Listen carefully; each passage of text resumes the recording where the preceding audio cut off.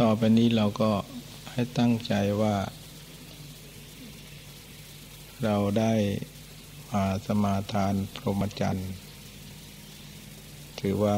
เป็นการออกบวช เป็นเนคขมะปฏิบัติธรรม ซึ่งละจากบ้านเรือนมาอยู่กับ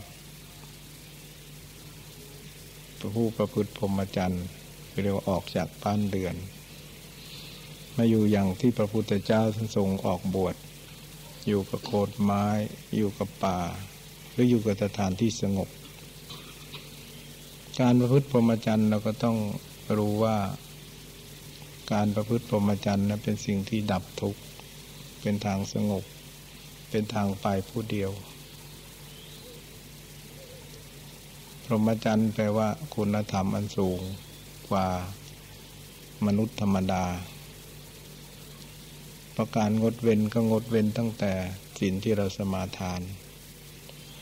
เพื่อจะได้นำมาประพฤติปฏิบัติให้เกิดประโยชน์ในตัวเรา เพื่อจะได้เข้าถึงหลักธรรม ซึ่งเป็นแนวทางอันสงบใจ ปานาติปาตาเวรมณี หมายถึงว่างดเว้นจากการฆ่าสัตว์ศีลข้อนี้เป็นศีลเจริญเมตตา เป็นศีลที่ไม่เบียดเบียนกายวาจาใจคนอื่น และตัวเอง เป็นเป็นศีลที่งดเว้นไม่เบียดเบียนใครด้วยกายก็ดี กายก็จะไม่ฆ่าสัตว์ ไม่รักทรัพย์ ไม่ผิดกาเมไม่พูดปด ไม่ดุมน้ำเมาจะงดเว้นละเอียดกันไปสิ่งพวนี้เป็นสิ่งที่มีเมตตาต่อสัตว์แม้แต่มดตวงยุงตวงก็จะไม่บี้ไม่ตก เราถือสิ่งข้อนี้เราจะต้องสังวรระวังด้วยการไม่ฆ่าสัตว์ เจริญเมตตาเป็นอารมณ์ เป็นสิ่งที่ตัดความโกรธความพยาบาทอาฆาตจองเวรหมดไปสิ่งข้อนี้เป็นสิ่งที่ไม่เบียดเบียนกันเลย แม้แต่สัตว์เล็กสัตว์น้อยก็ไม่คิดจะทำอันตรายเขาถือเขาจะทำอันตรายเราเราก็จะเดินเมตตาเป็นอารมณ์ เราก็จะไม่บี้ไม่ตบ ยังยุงนี่เราก็ตบไม่ได้ ถือว่าสิ่งข้อนี้เป็นสิ่งที่จะการงดเว้นจากการไม่ตบจุง ไม่ทำลายสัตว์เล็กสัตว์น้อย ให้ตั้งสติระวังไว้ด้วยการไม่ทำอย่างมันมากัดเราเราก็เป่ามันไปลูบมันไป ไม่ทำให้มันตาย ไม่ใช่ว่า เราถือศีลข้อนี้เราจะนั่งตบจุงได้ จุงก็เป็นเครื่องที่ทำให้เรา มีสติ ถ้าเราตบก็ถือว่าศีลข้อนี้ก็เป็นถือไม่ได้เป็นขาดไปก็ต้องสมาทานใหม่สิ่งข้อนี้พอเราถือไปแล้วก็ทำให้เราเกิดเมตตามีสติ ไม่คิดเบียดเบียนใคร ก็จะเป็นคนระงับความโกรธได้ดี ความพยาบาทได้ดี ก็เจริญเมตตาเป็นอารมณ์ สินเมตตาสิ่งข้อต้นนี่นะสินคุ้มครองโลกสินเมตตานี่คุ้มครองโลกได้ คนจะไม่เบียดเบียนกันเลย อธินาทานสินจะไม่ลักทรัพย์สิ่งข้อนี้ไม่ลักทรัพย์ คนที่ถือสินข้อนี้แล้วจะไม่มีการเบียดเบียนทรัพย์คนอื่น ใครจะตกหล่นเป็นมื่นเป็นพันก็ไม่หยิบ เอาเป็นของตัว เอาไปคืนเจ้าของสิ่งนี้ไม่โลภสิ่งข้อนี้จะเดินด้วยการไม่โลภเป็นคุณธรรมที่ ตัดความโลภอยากได้ทรัพย์คนอื่นกินดีในทรัพย์ตัวเอง คนเราแค่มีสินสองข้อนี้ คุกตารางก็ไม่ไปแล้วไม่ฆ่าสัตว์ก็ไม่ติดคุก ไม่ลักทรัพย์ก็ไม่ติดคุก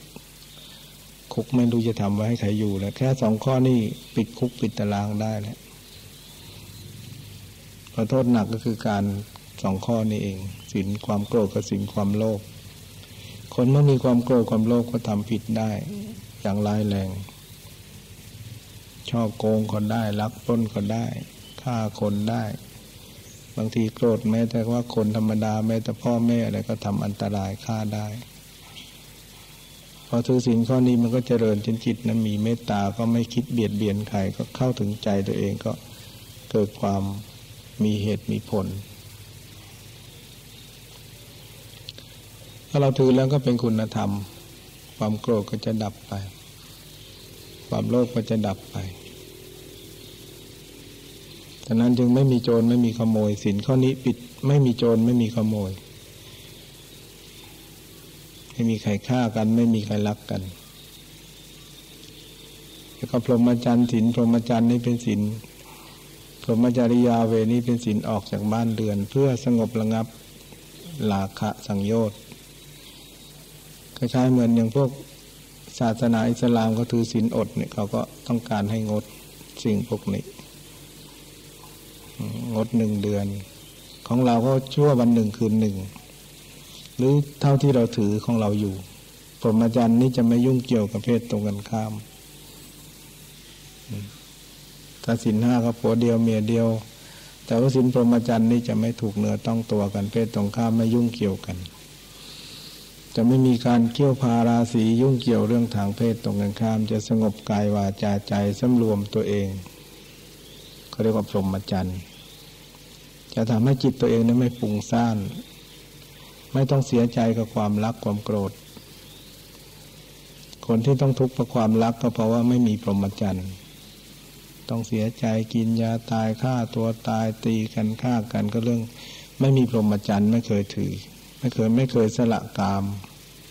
สินข้อนี้เป็นสินทำให้กามเบาบาง คนเราจะไม่ไปฆ่ากับเรื่องนี้ จะไม่ไปทะเลาะกับเรื่องนี้ จะไม่ไปเสียใจเรื่องนี้ ถ้าคนไทยเราได้ถือสินข้อนี้ไว้บ้าง ก็เป็นการตรงพิจารณาให้มันตกไปบ้าง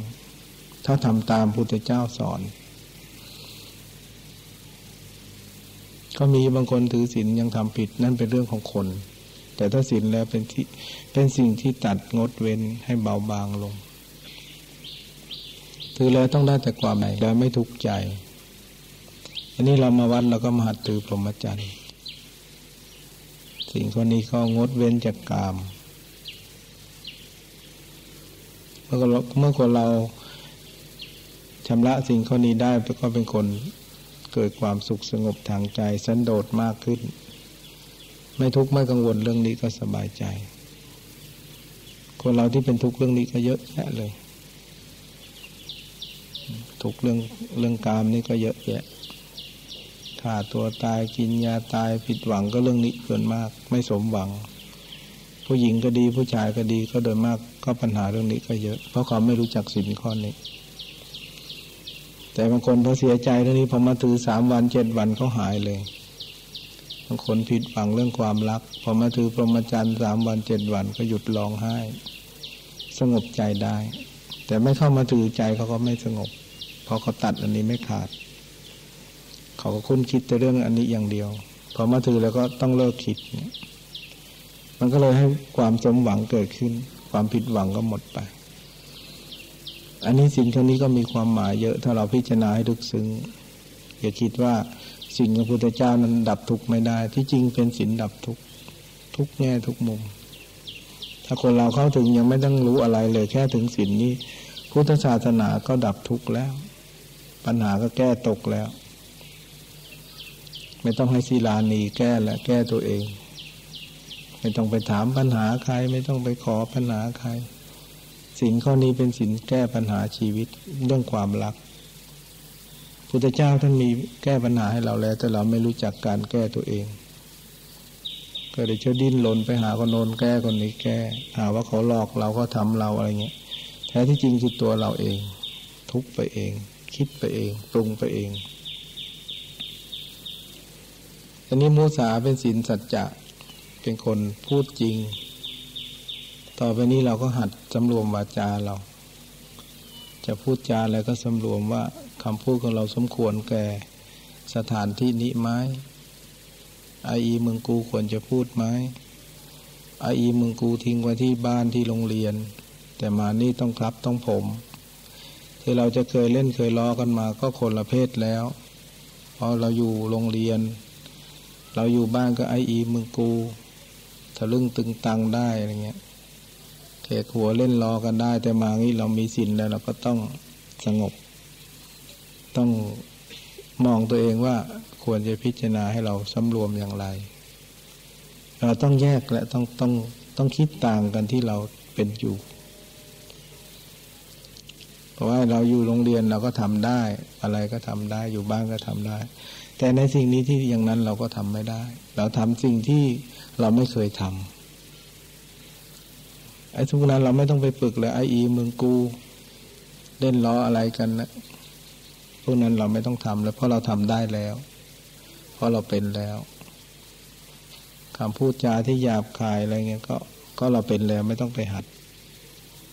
แต่นี้เรามาหัดถึงว่าเรายังไม่เป็นคืออะไรพูดไพเราะสมาวาจากล่าววาจาชอบ เช่นพูดจาไม่หยาบคาย เป็นปิยวาจากล่าววาจาที่ที่เป็นสัจจะความจริง อันนี้เขาเรียกว่าเป็นวาจาที่ไพเราะ เรามาหัดฝึกให้มันเป็นนิสัยของเราไว้บ้างสักห้าวันก็ยังดี ที่เรามาอยู่ก็พยายามสำรวมวาจาของเรา อันนี้เราก็ต้องฝึกนะ ไม่ใช่ว่าเรามาอยู่วัดแล้วเราไม่ได้เปลี่ยนอะไรเลย มันก็เท่ากับเราไม่ได้ไม่มาด้วยไม่ไม่ได้มาด้วยศรัทธา แล้วก็ไม่ได้มาด้วยปัญญา พระพุทธศาสนาเนี่ยสอนให้คนไม่ได้ให้ศรัทธาแบบงมงาย อนให้ศรัทธาแบบมีปัญญา การนับถือพุทธเจ้าพระเจ้าไม่ยอมรับคนที่ศรัทธาแบบงมงาย พุทธเจ้ายอมรับบุคคลที่มีปัญญา ที่มีเหตุมีผล การจะซื้อถิ่นของพระพุทธเจ้า การจะบวชพระพุทธเจ้าพระเจ้าก็ไม่ได้ให้คนงงๆมาถือ เพราะถือแล้วจะทำลายศาสนาพระองค์อย่างก็นักเรียนทุกคนเนี่ยเข้ามาก็ต้องใช้ปัญญา ถ้าไม่มีปัญญามาถือสิ่งของพระพุทธเจ้าก็จะทำลายสิ่งของพระพุทธเจ้าเสียหายหมด ทุกคนก็จะเข้าใจอ๋อสิ่งของพระพุทธศาสนามีแค่นี้เลย ก็กลายเป็นเหมือนเราเป็นผู้ทำลาย โดยที่เราไม่ได้ใช้ปัญญาฉะนั้นการถือสิ่งของพุทธเจ้าก็ต้องมีปัญญา เพราะพุทธเจ้าสอนให้เหตุมีเหตุมีผล แล้วก็สอนให้อยู่เหนือเหตุเหนือผลด้วย แค่เหตุเพื่อผลก็เป็นเพียงเริ่มปฏิบัติ ถ้าเราปฏิบัติไปแล้วเกิดปัญญาเห็นชอบแล้วก็มีสติมากขึ้นก็อยู่เหนือเหตุเหนือผล เราก็ยังไม่ตกอยู่ในหน้าของการกระทำอะไรที่ไม่ถูกไม่ควรถ้าพูดกันแล้วพุทธศาสนาในศาสนาไม่ใช่ศาสนาปรัชญาทางโลกเขายกย่องว่าปรัชญาแต่พุทธศาสนาบอกศาสนาปัญญา ซึ่งเหนือปรัชญา ปรัชญาเป็นเพียงคนคิดคำสอนคำพูดอะไรที่มันแปลกแหวกแนวเท่านั้นเองซึ่งเป็นคำปรัชญาคล้ายๆว่าคนคิดสิ่งที่ไม่ไม่มีใครรู้ แต่ก็เข้าใจเป็นบางตอนบางวักแต่ว่าศาสนาปัญญานี่หมายถึงรู้จิตตัวเอง ที่ดับทุกข์ที่กิเลสในใจตัวเองได้ ปัญญาที่อย่างนั้นมันเหนือปรัชญาปรัชญาเป็นเพียงเขียนเพียงอ่าน เพียงพูดแต่ว่าปัญญานี่เป็นเป็นผู้มีเหตุผล รู้จักดับทุกข์รู้จักดับความโกรธความโลภที่ใจตัวเองได้ เป็นศาสนาที่นำปัญญาให้เกิดขึ้นโดยตรงเลยเรียกว่ามรรคองแปดเนี่ยรู้จักดับตัณหาได้ รู้จักละสมุทัยได้ ซึ่งไม่มีใครสอนพระพุทธเจ้าด้วยคนพบฉะนั้นเรามาวัดเราจะได้ประมาทว่าพุทธศาสนาเป็นของต่ำ จงเทิดทูนไว้ในหัวใจเราหรือในสมองเรา อย่าได้ถือศีลเล่นๆอย่าทีศีลเพื่อสนุกเพื่อมากันมากและเฮฮาอย่างนั้นไม่ควร ถ้ามากันเราจะไม่ได้อะไรกลับไปเลยนะ ถ้าเราซื้อศีลเป็นหมู่เป็นเราแบบสนุกไปตามเพื่อน เพื่อนเฮเราก็เฮเพื่อนนาเราก็ฮาเราไม่เคยสงบเลย ไม่เคยสำรวมเลยเนี่ย เราจะผิดหวังกับการที่เรามาถือศีล เราเป็นคนพุทธแต่เราไม่เข้าถึงพุทธะเลย เราก็คงจะเข้าถึงพระพุทธเจ้าเป็นเพียงรูปปั้นเท่านั้นเอง เราไม่เข้าถึงพุทธเจ้าดังคุณธรรมหรือนามธรรม การถือศีลโดยนามธรรมและคุณธรรมเนี่ยเป็นของละเอียดอ่อนโดยไม่มีตัวตน ต้องใช้ความคิดจริงจะเหนือเหตุเหนือผล ถ้าเราถือศีลแบบประเภทที่เอารูปเอาเอาร่างมาถือเนี่ย เราจะไม่ได้อะไรกลับไปเพียงแต่เรานุ่งขาวแล้วก็ถือศีลรับไป แต่เราไม่ได้มีคุณธรรมในใจเราเลย ไม่ได้สละอะไรออกไปเลยคำพูดคำจาเราก็ยังลืออ้วไออีมึงกูหยาบขายเหมือนเดิม นั่นเท่ากับเราถือศีลแต่เพียงรูปแบบ ไม่ได้ถือคุณธรรม ไม่ได้ถือโดยปัญญา อันนี้เราต้องแยกแยะนั้นนักเรียนทุกคนต้องแยกแยะ อย่าคิดว่าพุทธศาสนาเป็นของเล่นๆของง่ายๆพุทธเจ้าจึงบอกว่าคำสอนพุทธเจ้าเนะ่ยเปรียบเหมือนใบไม้กำมือหนึ่งยังกำไว้มันมือหนึ่งแต่ว่าที่ยังไม่ได้สอนอีกต้องเป็นเป็นป่าเป็นต้นฉะนั้นเราจะต้องเคารพในศีลที่เราถือ ถ้าเราไม่เคารพในศีลที่เราถือนี่เราจะมองพุทธศาสนาไม่ถึงเลยในชีวิต และจะทำให้คนอื่นมองภาพพจน์ของพุทธศาสนาไม่มีความสำคัญอีกด้วย แต่มันเป็นที่ตัวเราตั้งหัก เราจะใช้ปัญญาลึกซึ้งแค่ไหนอันนี้พระเจ้าจริงๆห้ามคนตาบอดบวชหูหูตึงบวชบ้าบวชใบบวชพิการบวชเพราะอะไรเพราะว่าไม่มีปัญญา ไม่มีความสามารถที่จะมาถือศีลได้ ถ้าเอาคนที่บริบุรุษและสตรีที่สมบูรณ์ ตาไม่บอดหูไม่หนวก ไม่บ้าใบเพราะคำสอนพระพุทธเจ้าเป็นของละเอียดอ่อนต้องต้องมองด้วยปัญญาจริงๆจะเอาไปได้ฉะนั้นข้อมุสานี่ก็เหมือนกันเนี่ยเรามาบวชเราก็ต้องเปลี่ยนคำพูดทันทีอันนี้เราก็ต้องเปลี่ยนใหม่ ถ้าไม่เปลี่ยนเราก็ไม่สงบ ตัวเราจะไม่สงบ จะพราหมูคณะไม่สงบ เราก็ไม่ได้มาศึกษาอะไรเลย สุราไม่ดื่มน้ำเมา ข้อนี้ก็สำคัญ ของมึนเมาทั้งหมดนี่ถือว่าเป็นของเสพติด เช่นเช่นหมากพลูบุรีเหล้ากัญชาพวกนี้ก็ถือว่าเป็นของเสพติดที่ทำให้เราเสีย สุขภาพจิตใจและไม่สงบ อันนี้เราก็ต้องงดเว้น พระที่วัดนี้ไม่มีใครสูบบุหรี่เลย คนที่มาบวชเป็นพระขาวที่นี่ก็ไม่สูบบุหรี่เลย ทายกก็ไม่สูบ ไม่สูบบุหรี่กัน พระเนนถ้าสูบแล้วเราก็ไม่รับ ถือว่าบุหรี่เป็นเป็นเครื่องเสพติดทำให้ ให้ไม่เกิดประโยชน์อะไรกับร่างกายเรา แล้วก็ อย่างเช่นนักศึกษานี่สูบเท่ากับเผาเงินพ่อแม่ของตัวเอง เพราะตัวเองยังไม่มีไรายได้อะไร อย่างวันละซองเนี้ยเดือนหนึ่งก็ต้องหลายร้อยบาทกินแล้วก็ไม่เกิดประโยชน์อะไร พระก็ไม่มีรายได้อะไร จึงไม่สูบบุหรี่พอเป็นเงินญาติโยมแล้วเอาเงินญาติโยมมาเผาก็ไม่เกิดประโยชน์อะไร พอกันเนี่ยนักเรียนเอาเงินพ่อแม่มาเผา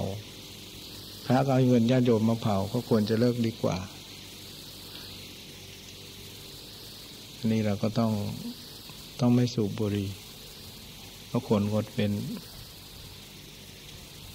แต่ว่าจะเลิกกันได้แค่ไหน แต่ถ้าเลิกได้เด็ดขาดมันก็เป็นสุขภาพจิตที่ดี ก็จะงุดหงิดแต่ใหม่ๆพอนะมันก็สบายใจ มีสุขกันกี่คนเนี่ยนะ สุบรีกันหลายคนไหมฮะ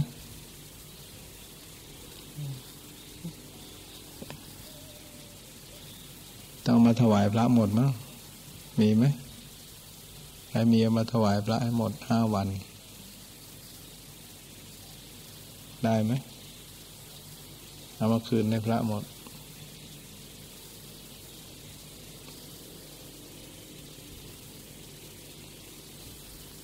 นี่ว่าไงโยมอามติว่าไง จะทำตามระเบียบที่วัดนี้หรือจะทำตามใจตัวเองให้นักเรียน จะทำตามระเบียบไปทำตามใจตัวเอง ตามกฎระเบียบดีหรือไม่ดี ถ้าตามกฎระเบียบก็เรียบร้อยสงบ ถ้าตามใจตัวเองก็ไม่สงบ เราก็จะต้องไปแอบสูบในส้วม มันก็ไม่ใช่เป็นของประเสริฐอะไรอะ่ะ ตาพระจันทร์จะหลงไปอยู่ในส้วมอะ่ะ มันก็ไม่ไม่มีอะไร พูดกันแล้วมันก็ไม่ใช่ของวิเศษอะไร เราไปติดกลิ่นเนี่ยติดเขาเรียกว่าติดกลิ่น ไม่ใช่ติดรสเนื้อเศษทางจมูกติดกลิ่น ติดรูป ติดเสียงอย่างพวกฟังเพลงนี่ติดเสียงพวกที่ชอบดูโขนดูหนังนี่ติดรูป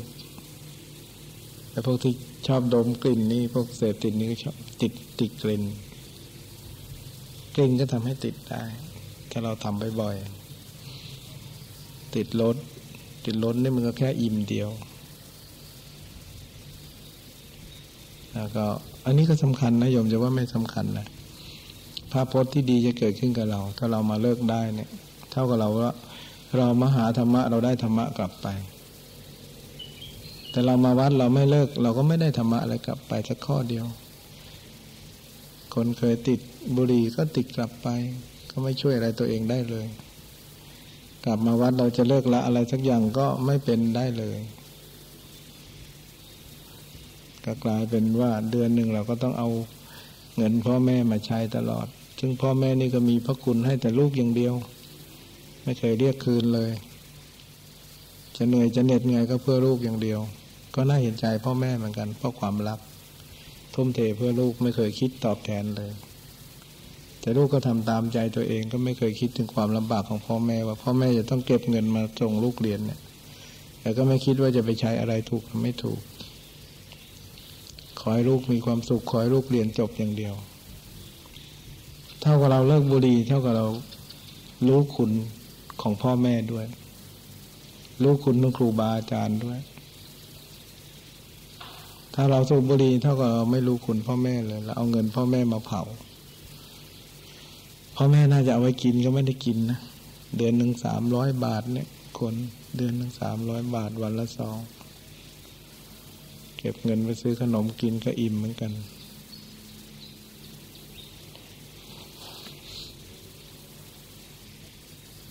ข้อนี้ให้ผ่านหรือหรือไม่ผ่าน เอาไงเอามาติส่วนรวมเอา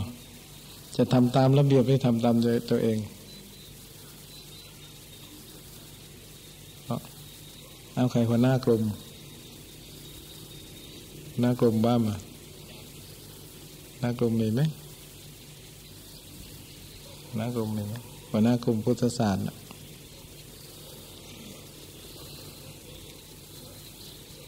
แต่ปีนี้มาบวชพวกมหิดลมาบวชหกสิบคนนะพวกนักเรียนแพทย์นักเรียนในเรือบวชสิบคน บวชสามรุ่นรุ่นสุดท้าย เรื่องบุหรี่ไม่ต้องพูดถึงเลย เขาไม่สูบเลยสักคนเดียวพอเป็นพวกนักเรียนแพทย์เนี่ยเขาไม่ไม่ต้องพูดเรื่องนี้เลยเขาเขาเลิกมาก่อนเขามีหัวหน้าชมรมหัวหน้าชมรมก็ยังบวชเป็นพระเนี่ยเขาจะบอกเลยแล้วเขาทาได้แบบไม่มีปัญหา ทุกปีที่แล้วก็ดีปีนี้ก็ดีรู้สึกเขาเขารู้ระเบียบ เรื่องบุหรี่ไม่สูบเลยสักองค์เดียวบทเนนบทพระมาบทพระขาวเขาก็ผ่านหมดสิ่ง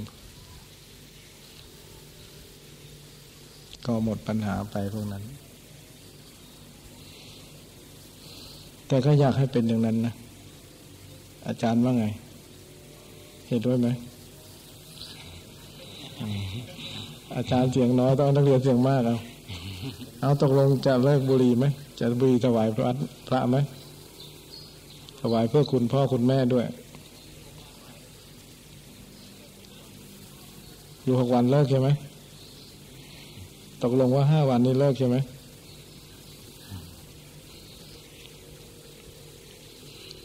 ใครสูบบุหรี่ไม่รับเป็นสิทธิสังฆทานนะ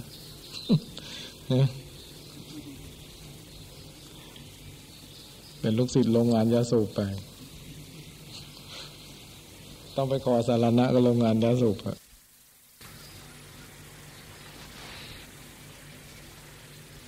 อันนี้สูบกันทุกคนที่เลยไม่มีเสียงตอบเนี่ย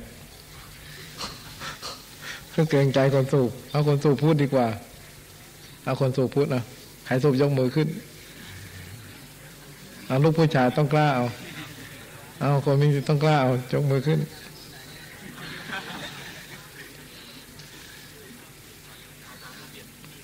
อาตามระเบียบที่นี่เอาได้เสียงหนึ่งแล้วเอาคนนี้บอกทำตามระเบียบที่นี่คุณชื่ออะไรชื่ออะไรชื่ออะไรชื่ออะไรนะชื่อระแวงครับอ่าระแวง แต่ไม่ระแวงนะแล้วเขาบอกว่าเอาตามระเบียบที่นี่แล้วจะสะดวกตกลงไหมแต่ปกติก็ต้องเอาระเบียบที่นี่โยม แต่นี่อาตมาอยากได้ความเห็นจากโยมด้วย เพื่อศรัทธาด้วยมาด้วยศรัทธาจริงไหมถ้าโยมมาด้วยศรัทธาจริง และใช้ปัญญาด้วยการมาบวชโยมก็เห็นคงเห็นคุณและโทษ และสิ่งพวกนี้โยมก็คงสละได้ไม่ยาก เพราะเพราะรัตนตรัยนั้นประเสริฐกว่าเงินทองกว่าสิ่งพวกนี้ ก็อยากให้โยมแสดงความคิดเห็นสิ่งพวกนี้ด้วย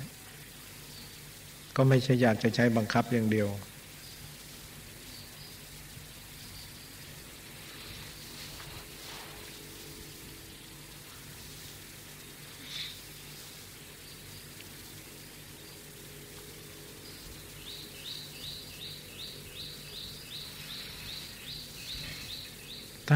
ก็เอามาถวายพระเลย เอามาเลยโยมฮะอยู่ที่ไหนอยู่ที่กรนนะงั้นเดี๋ยวเอามาเลยจะมีเจ้าหน้าที่เก็บเลยนะก็ต้องเก็บหมดนะโยม ไม่งั้นโยมจะไม่ได้อะไรกลับไปเลย เพราะว่าเราจะไม่ไม่ได้เลิกละอะไร ตกลงเป็นอันว่า เอามาถวายพระนะ เดี๋ยว เดี๋ยวให้พระเป็นผู้เก็บ ขอเก็บนะ ขอเก็บ เต็มใจไหมโยม เต็มใจไหม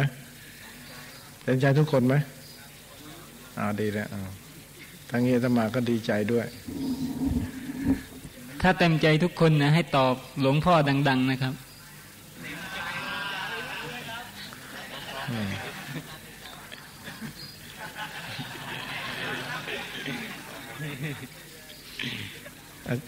อาจารย์ก็เลิกด้วย อาจารย์ตั้งใจแล้ว อาจารย์ก็ต้องเลิกด้วยแต่ที่จริงอาจารย์เขามีเงินเดือนนะเขาก็เสียสละเอา แต่นักเรียนยังไม่มีเงินเดือนนะถึงความเป็นจริงก็ไม่ได้เบียด อาจารย์ไม่ได้เบียดเบียนใคร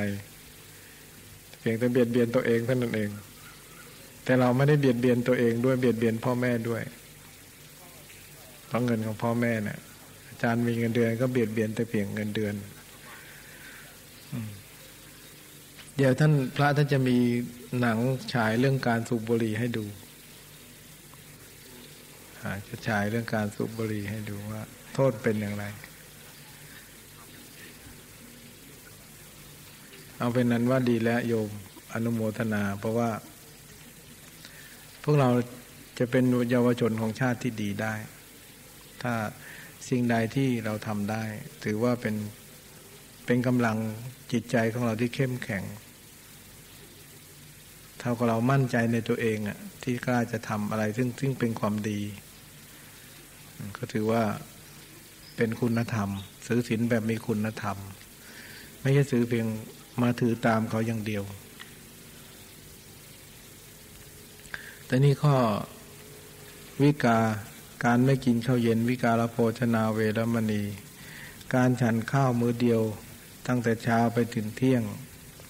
พุทธเจ้าท่านบอกอนนท์เราตถาคตฉันข้าวมือเดียว อาพาธก็น้อย ภาระก็น้อย ไม่อุดอ้าย ไม่อึดอัด ไม่มีไม่มีความพุงซ่านในเรื่องอาหาร ไม่กังวลในเรื่องอาหาร การฉันมือเดียวทำให้ไม่ค่อยมีโรค พระองค์ทรงยกต้องว่าการฉันมือเดียวนั้นอาพาธน้อย สติปัญญาก็ปลอดโปร่งไม่หมื่นไม่ทึบ ไม่ง่วงเหงาหานอนฉะนั้นการฉันมือเดียว พระองค์จึงทรงให้พระพิสุเนี่ย ฉันมือเดียว แล้วก็เป็นทุดง ฉันมือเดียวนี่เป็นทุดงหนึ่งข้อ ฉันในภาชนะเดียวเป็นสองข้อ ทุดงแปลว่าขัดเกลากิเลสตอกถอยกิเลสชำระจิตใจให้สงบ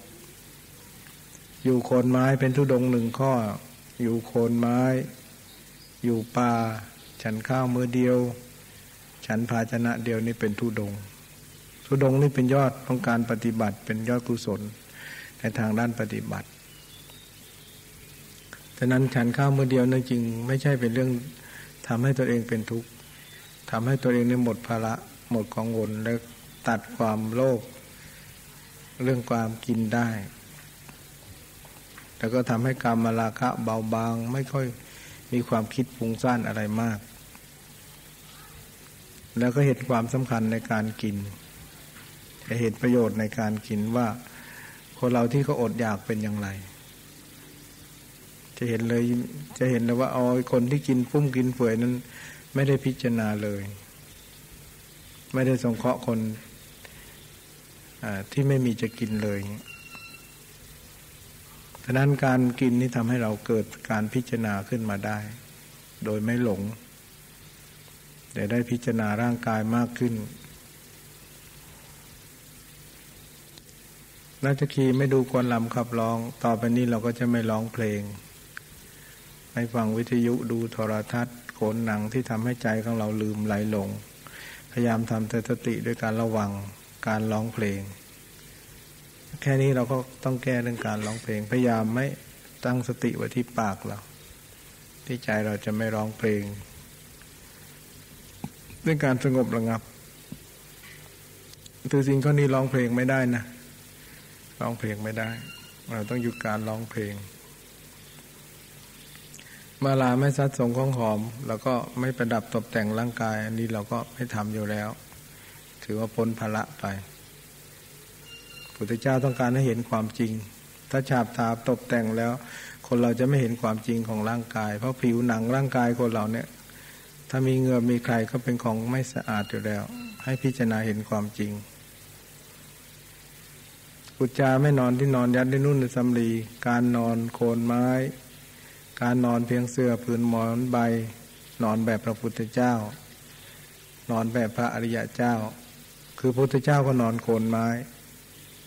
นอนก็เสื้อนอนก็ดินเหมือนกันอันนี้การที่เรามาฝึกอย่างนี้ก็ถือว่าตามอย่างพระพุทธเจ้า ตามอย่างพระอรหันต์ถ้าเราลำบากก็นึกถึงพุทธเจ้าก็แล้วกันพระพุทธเจ้านอนมาอย่างนี้ตั้งหกปีพุทธเจ้าเป็นลูกกษัตริย์นอนอย่างสุขสบาย แต่พระองค์ก็ทิ้งไปนอนอย่างนี้เรานึกถึงพระพุทธเจ้าว่าเรานอนตามพระพุทธเจ้า นอนตามพระอรหันต์ จะไปคิดว่าเราลำบากไงเราอยู่บ้านเรานอนสบายมานี่ลำบาก ต้องนึกว่าเรานอนตามพระพุทธเจ้า เราก็สบายใจ พระพุทธเจ้าห้ามนอนที่นอนยัดในนุ่นในสำลีเตียงต่างสูงใหญ่เกินประมาณ ก็เพื่อต้องการไม่ให้หลงกินหลงนอนนี่เอง เพื่อจะได้มีการปฏิบัติใจ เมื่อเราถือศีลเป็นพรหมจรรย์หมดแล้วก็เกิดความปีติ เกิดการตำรวจศีลในตัวเองว่า ความดีเราได้ทำแล้ว ที่ใจเรา เรางดเว้นแล้วก็มีแต่สติอย่างเดียว เมื่อแปดข้อนี้เราก็งดเว้นหมดก็เหลือแต่สติรู้ตัวอย่างเดียวว่า เดินอย่างไร นั่งอย่างไรนอนอย่างไรกินอย่างไรศีลก็เหลือแต่สติอย่างเดียว คอยระวังกายวาจาก็คือให้รู้ตัวท่านเอง ก็เป็นศีลที่ใจเราและเมื่อถือศีลแล้วพระพุทธเจ้าท่านบอกว่าให้ฝึกสมาธิ เป็นอุบายทางสงบใจอีกชั้นหนึ่ง เพื่อจะทำให้เกิดปัญญา เพื่อเกิดความหลุดพ้นขึ้นมาท่านบอกว่ากรรมฐานพระองค์ได้มีสี่สิบกว่าอย่าง แต่ให้ศึกษาหมดนั้น ต้องใช้เวลายาวนานตอนนั้นก็ให้อุปชายะเนี่ยให้กรรมฐานบทต้น ปัญจกรรมฐาน อุปชายะทุกองค์จะบวชกุลบุตรเนี่ยให้กรรมฐานก่อน เรียกว่าปัญจกรรมฐาน ซึ่งกรรมฐานบทนี้อยู่ในกายตัวเองหมด จะเดินจะกินจะนั่งจะนอนไปไหนก็มีกรรมฐานติดตัวกรรมะคือการงานฐานคือที่ตั้งของใจให้สงบ ถ้าเราระลึกรู้อยู่เรื่อยใจเราก็จะสงบอยู่เรื่อย จะเกิดศีลเกิดสมาธิ เกิดปัญญารู้ที่กายใจของเรา ถ้าเราเรียนรู้กรรมฐานบทนี้ได้อาต่อไปนี้ให้ตั้งใจว่าตามตั้งใจ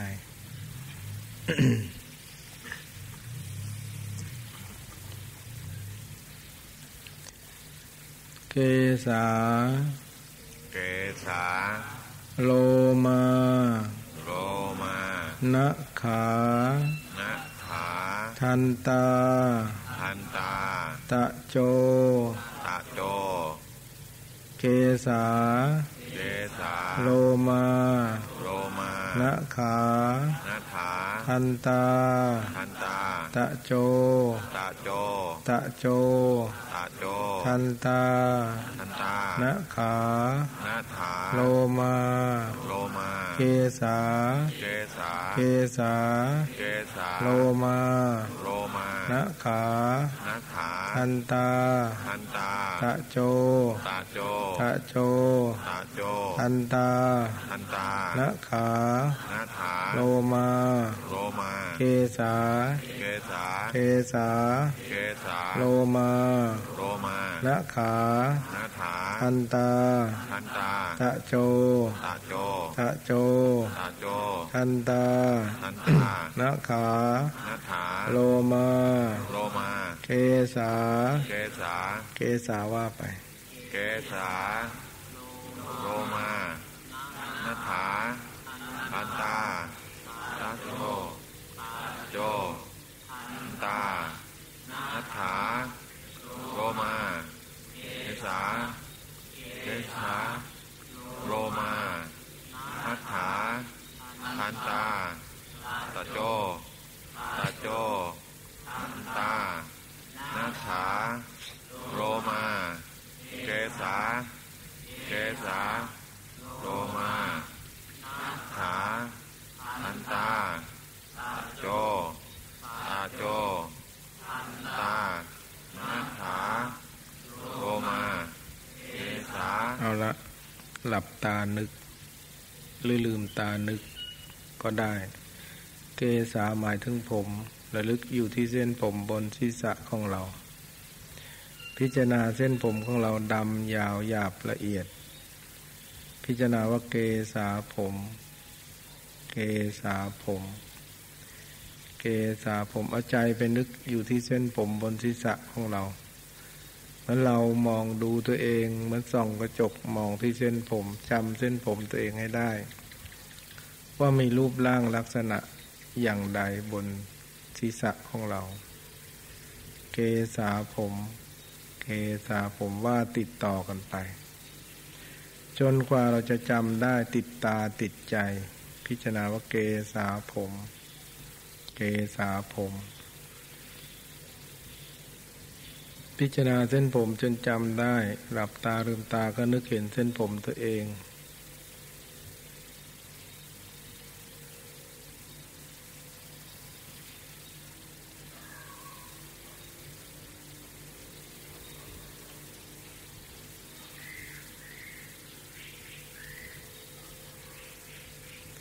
พิจารณาเกษาผม เกษาผมเป็นอารมณ์ พิจารณาเรื่อยไปจนเห็นเส้นผมนั้นดำยาวหยาบละเอียด ผม ถ้าเราไม่ถูไม่ล้างปล่อยทิ้งวันนานๆผมเราก็เป็นของสกปรกไม่สะอาดมีเหงื่อใครขี้รังแกออกทุกเส้นผม ก็พิจารณาปฏิกูลว่าเส้นผมเป็นของไม่สะอาด พิจารณาว่าเกสาผม เกสาผม พิจารณาตามความจริงได้แล้วก็พิจารณาเรื่อยไป โลมาขน โลมาขน ขนทั่วตัวมีขนคิ้วขนตาเว้นอยู่ฝ่ามือฝ่าเท้า พิจารณาว่าโลมาขน โลมาขนนึกเห็นเส้นขนที่ตัวเรา เส้นใดเส้นหนึ่งก็ได้ พิจารณาว่าโลมาขน โลมาขน จนกว่าเราจะจำเส้นขนเราได้ ติดตาติดใจ เมื่อเราพิจารณามากมากขึ้นไป แล้วก็พิจารณาเรื่อยไปเห็นว่าเส้นขนของเราก็ไม่สะอาด มีเหงื่อใครออกทุกเส้นขน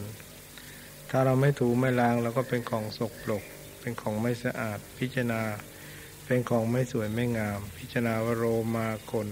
โรมาขนพิจารณาเรื่อยไปถึงเล็บ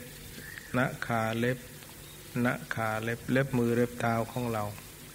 งอกออกมาจากมือเท้าเราก็พิจารณานึกเห็นเล็บที่เท้าที่มือของเรา พิจารณาว่าหนะขาเล็บหนะขาเล็บหนะขาเล็บจนกว่าจะจำเล็บตัวเองได้ ติดตาติดใจ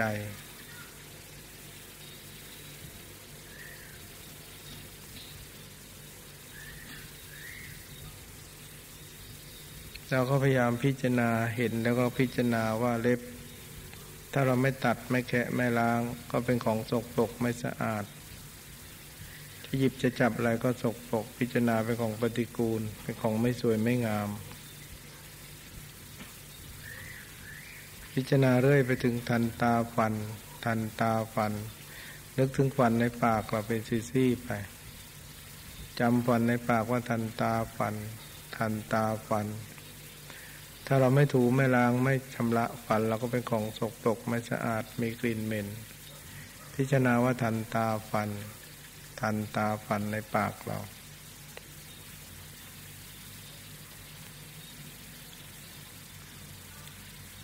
ตะโจหนัง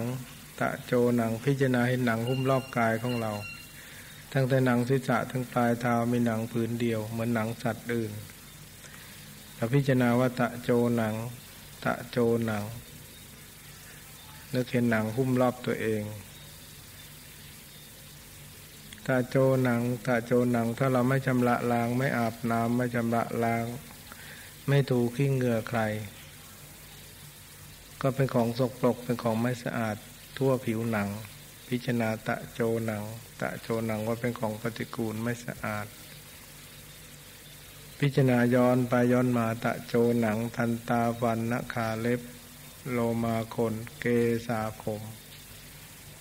เกสาผมโลมาขนนขาเล็บทันตาฟันตะโจหนัง พิจารณาเห็นส่วนใดส่วนหนึ่งในร่างกายของเราไว้เป็นอารมณ์ จิตของเราจะได้ละคลายจากความปรุงแต่งวุ่นวายปรุงซ่านหรือการยึด ตัวเราตัวเขาเมื่อพิจารณาแยกไปแล้วก็เห็นว่า ไม่ใช่ตัวเรา ไม่ใช่ตัวเขา ความยึดถือตัวตนก็จะน้อยลง พิจารณาเห็นตามความจริง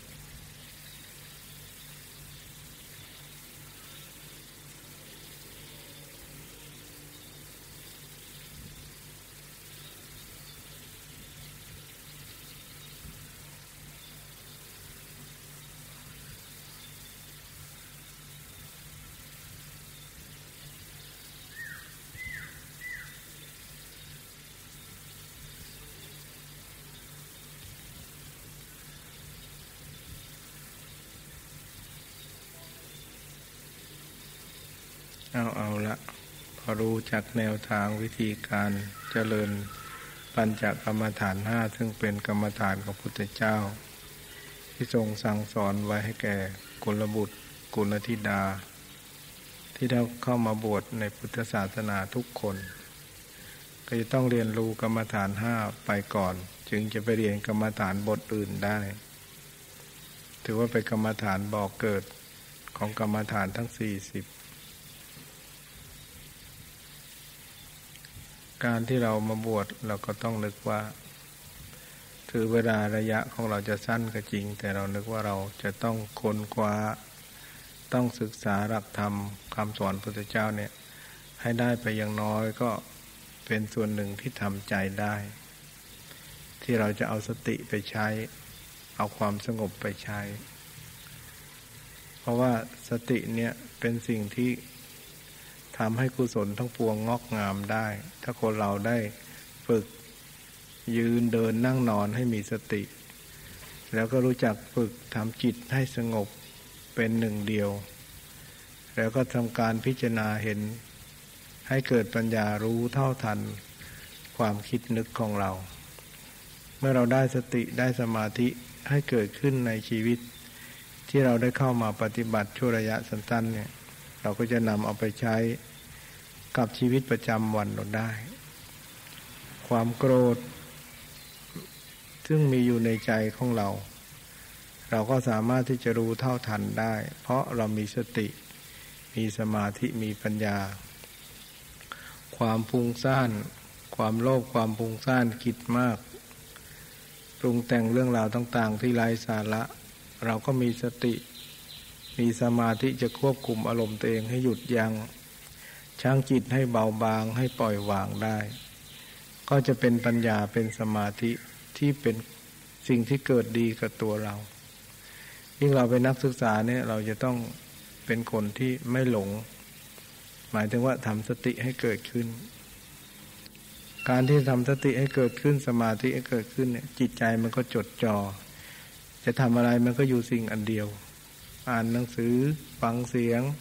หรือทำการงานอะไรสติมันก็จดจ่ออยู่สิ่งอันเดียว ก็เป็นสมาธิเป็นปัญญา ให้ความทรงจำของเราเนี่ยมั่นคงและดีขึ้นมาได้ เพราะอาศัยสติสมาธิที่เรามาทำความเพียรเขาเรียกว่าเป็นอิทธิบาท เป็นกำลังที่จะสนับสนุนให้เราได้เกิดประโยชน์มาก ในเมื่อเราได้มาเข้ามาศึกษาสิ่งนี้ อย่างน้อยเราก็ต้องหัดหัดเดิน ขวาพุทธซ้ายโท หรือขวาย่างหนอแสงหนอ ตามที่อาจารย์จะสอนให้เรา เดินก็ภาวนา นั่งก็ภาวนานอนก็ภาวนา เราลองทำดูสักห้าวัน ถ้าเราไม่ขาดภาวนาแล้วจิตของเราจะจะเยือกเย็น จะสงบลง ไม่ใช่มาเหมือนเดิมแล้วกลับไปเหมือนเดิม หรือไม่ใช่มาเหมือนเดิมแล้วกลับไปไม่ได้อะไรกลับไป ฉะนั้นอยู่ที่การตั้งใจของเรา ตั้งใจมั่นของเรามีสัจจะในใจว่า เราจะต้องหัดสำรวมอย่างพระบ้าง ถ้าเวลาที่เรามาบวชเรามามาเที่ยวเล่นมาคุยมาคุกคลีนี่เราจะไม่ได้อะไรเลย เพราะหมู่มาก ฉะนั้นเราจะต้องใช้ปัญญาของเราในแยกแยะ เอาตัวเองออกไปหาความสงบให้ได้บ้าง อย่าคิดว่าเพื่อนนั้นช่วยอะไรเราได้ เพื่อนไม่ได้ช่วยอะไรเราได้ นอกจากเราจะช่วยตัวเองฉะนั้นเราจะต้องพยายามว่ามันขึ้นอยู่กับตัวของเรา ที่จะศรัทธาที่จะใช้ปัญญาแยกแยะเอาวิธีการประพฤติปฏิบัติให้เกิดประโยชน์อย่างไรที่เราเข้ามาวัด ถ้าไม่งั้นแล้วเราจะไม่ได้อะไรกลับไปเลย เพราะเราสนใจน้อย เท่ากับเราเป็นคู่ศึกษาน้อยนั่นเอง ไอ้ทางโลกเราศึกษามาพอแล้ว ตอนนี้เราต้องการศึกษาธรรมะ ศึกษาทำความเข้าใจในตัวเองให้มากขึ้น ก็คือการหัดฝึกศีลสมาธิจะหัดสำรวมตัวเอง เดิน ยืน นั่งนอน หัดภาวนา หัดทำสติให้รู้ตัว เหมือนที่ว่าพระท่านจะฝึกเนี่ยพระท่านบวชเนี่ยจะฝึกวิธีการเป็นพระ เวลาจะจะจะลุกนั่งเนี่ยท่านก็จะไม่นั่งแบบเรา เวลาจะนั่งท่านก็ทำสติแบบนี้ย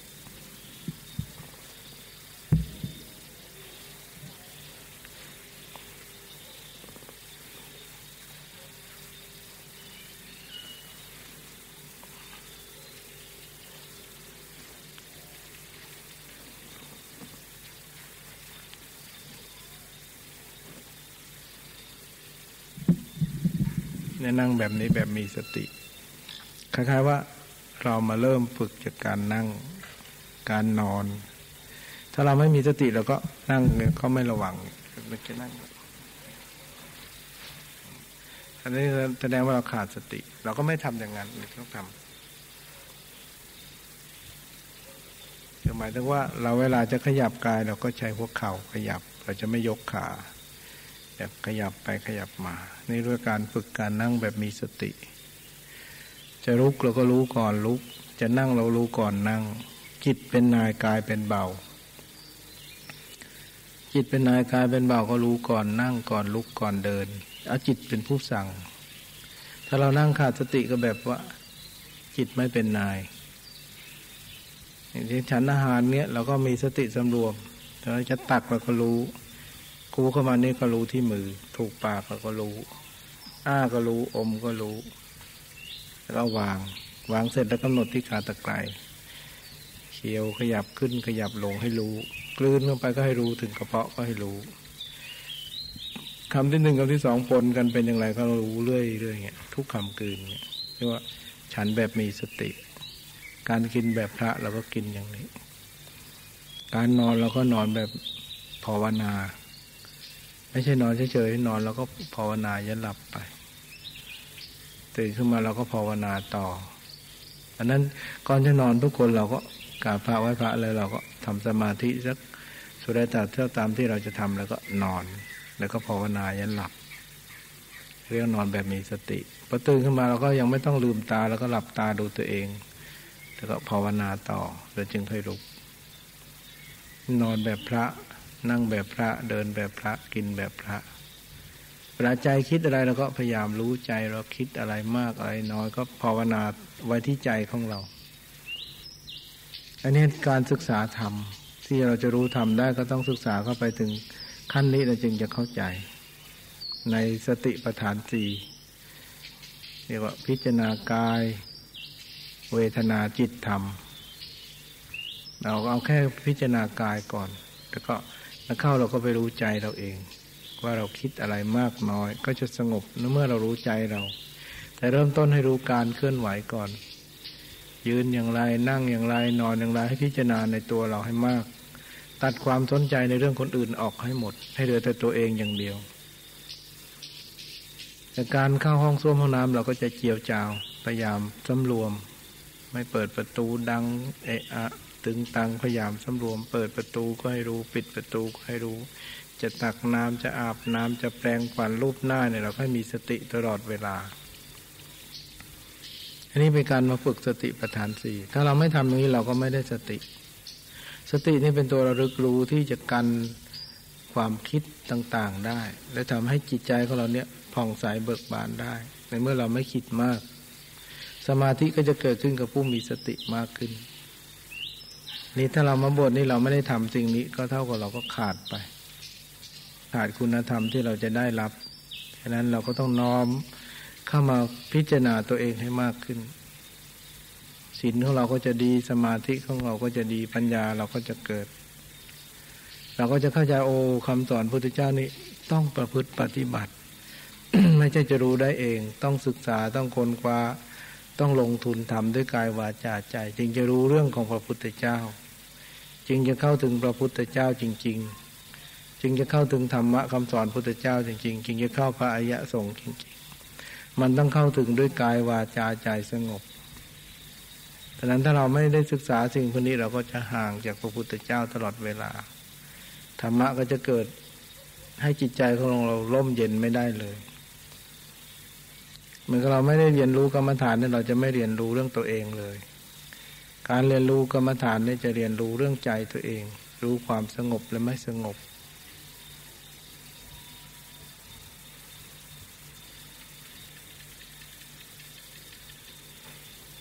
เอาละวันนี้ก็คงจะสมควรแก่เวลาแค่นี้